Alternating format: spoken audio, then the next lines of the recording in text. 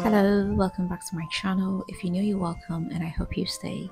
Today I'm bringing to you how I make my chocolate pancakes. Without wasting time, let's just get started. First, I'll get a big enough bowl and break in 5 eggs. I'll come in with some vanilla essence. I'll pour in about 400 ml of full cream milk, a pinch of salt to taste, about 3 tablespoonful of sugar. I'll come in with my hand mixer and whip everything up. Next, I'll sift my flour into it. I'm using cake flour and I'll be using 150 grams in total.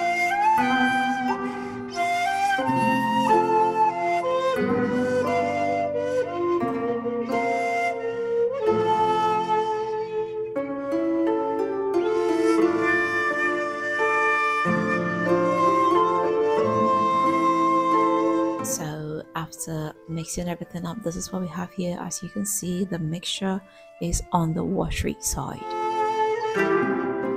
Next i'll sift in about a tablespoonful of cocoa powder. Then i'll come in with my hand mixer and mix everything up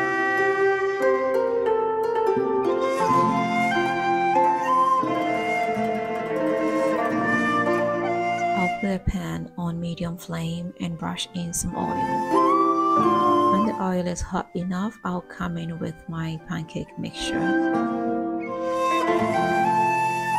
I'll cook one side for about 40 seconds, then flip it over and cook the other side for 40 more seconds.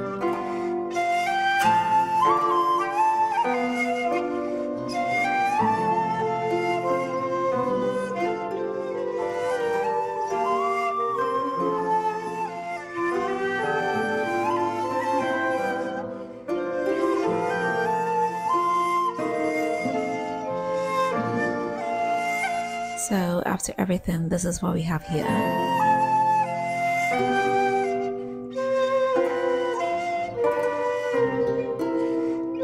I'll go ahead and sift some icing sugar on them.